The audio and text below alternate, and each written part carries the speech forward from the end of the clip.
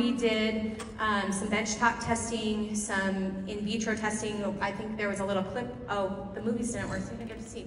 Um, but we had a little stretched device where we saw that collagen really did remodel like this. Um, and then we did a cadaver study, and then we did a first in human.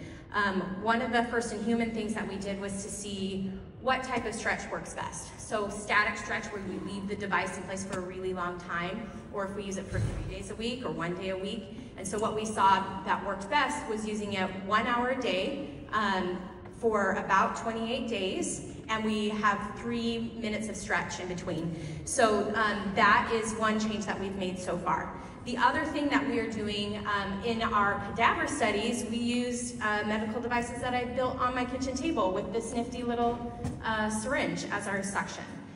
But um, in our next clinical trial, we actually have an electronic pump that will be outside. Um, as the cup goes in, it's attached with a pump. And then uh, our final product that we will get FDA approval with is still that disposable cup, but the pump attaches to the back and it's all inclusive. It's a little tiny thing that goes right in. So those are the um, things that will change in the future.